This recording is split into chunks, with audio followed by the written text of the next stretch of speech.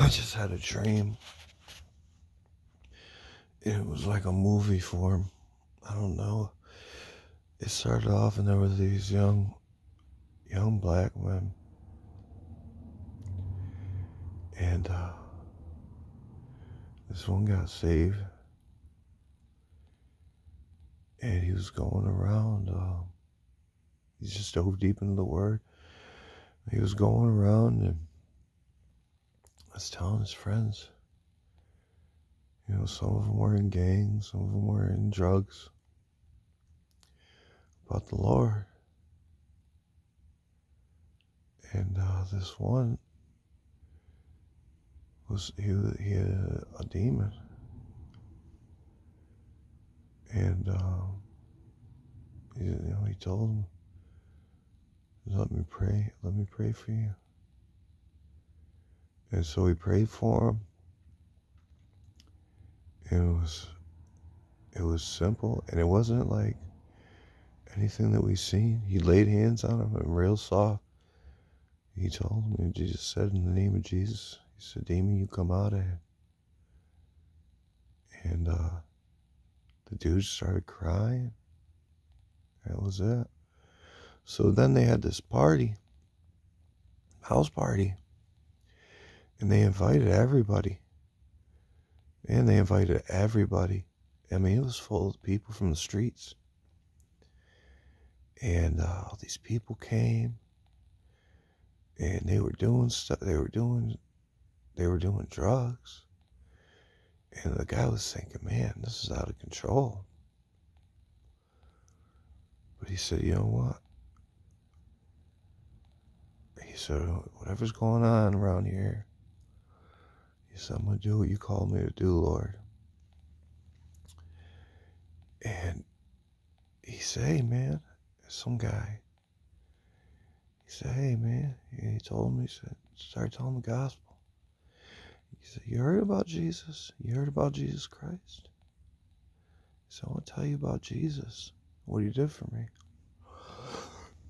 he sat him down. He said, I want you to be able to have the same thing that I had. He said, You can have the same thing, man. Jesus will set you free too. And he sits him down, man, and his other friend came over. And there were some other people that came over. And they like crossed arms or locked arms, kind of held hands, something. They were just praying, praying, praying. It was hard, nothing I ever seen. And then something, some kind of commotion happened. And the dude was like a gangster. This must have been in the 70s. It flipped back and forth. I feel like this, so this was in like the 70s or something. And uh so the dude um that's the gangster they're trying to get delivered. He like whips around, tries to go rush towards the commotion, and the guy's just kind of like, no, no, man. This isn't about, he said, this is about you. This is your time.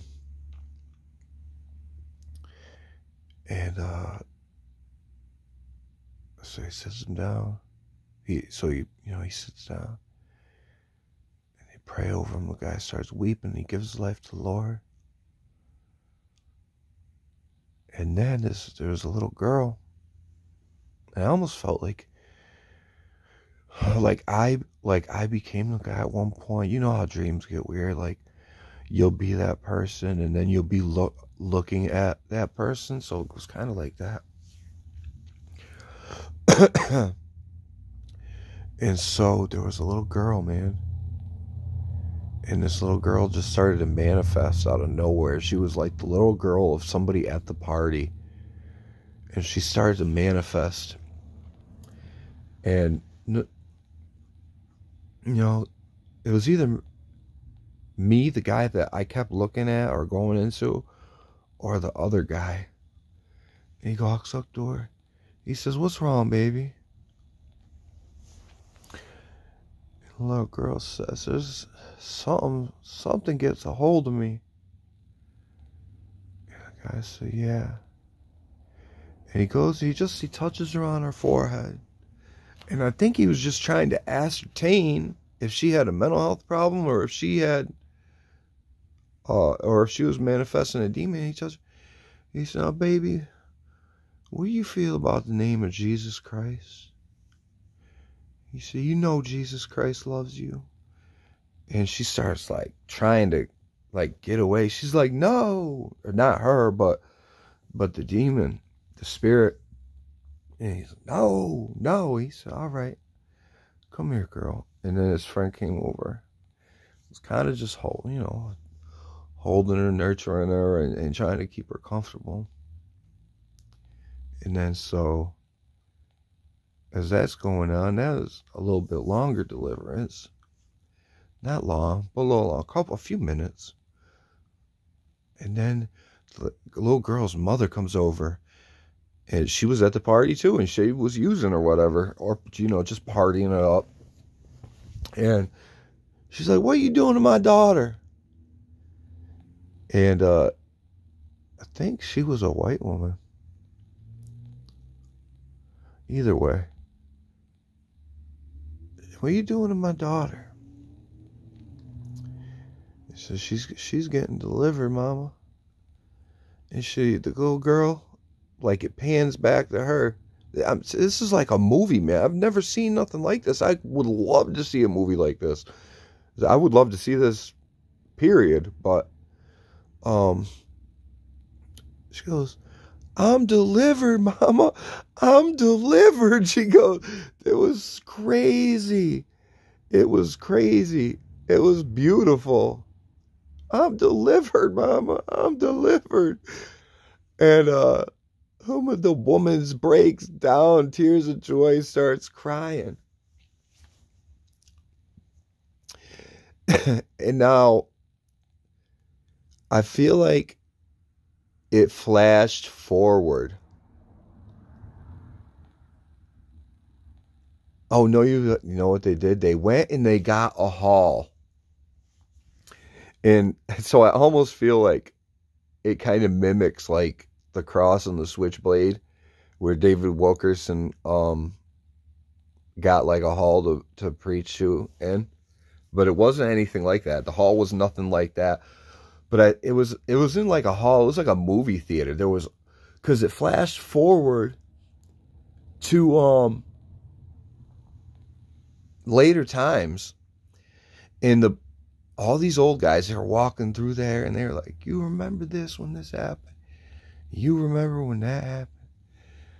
And they were like talking about, "You remember when the Lord healed this one? You remember when the Lord healed that one?"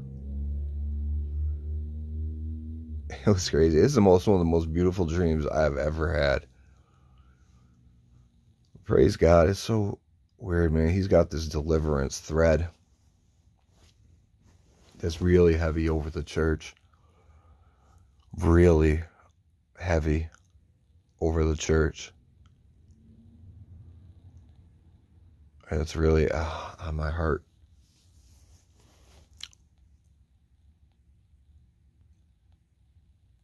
Praise God. I thought I, I said to say some of it because I'm I know I'm going to forget the dream later.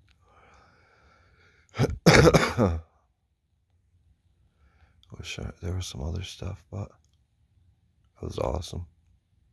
Amen. Praise God.